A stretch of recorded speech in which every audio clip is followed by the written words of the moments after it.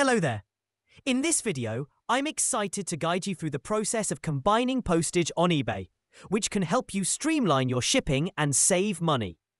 Whether you're new to eBay or a seasoned seller, understanding how to merge postage fees can be a game changer. Let's dive right in. First off, if it's your first visit to eBay, you'll need to create an account. You can do this by clicking the register button on the homepage.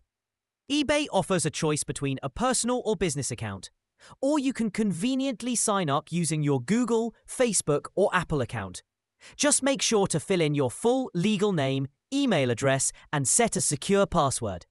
For those who are already part of the eBay community, simply log in with your existing credentials.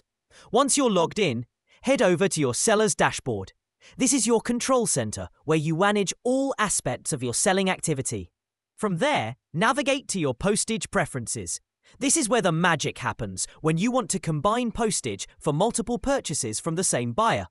When a buyer acquires several items from you, combining their postage into one package can significantly reduce shipping costs and simplify your workflow.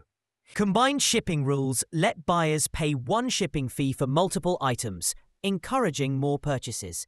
Flat shipping rules charge the same rate no matter where the buyer is located. Simple and predictable.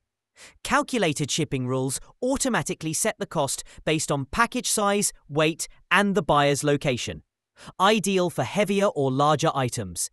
Finally, promotional shipping rules let you offer deals like free shipping when buyers spend a certain amount, or discounts when buying multiple items.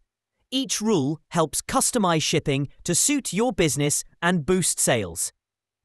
With these settings in place, your preferences are now successfully configured. And that wraps up today's tutorial on combining postage on eBay. I hope you found this guide helpful and that it empowers you to manage your shipping more efficiently. Thank you for watching, and I look forward to seeing you in our next video.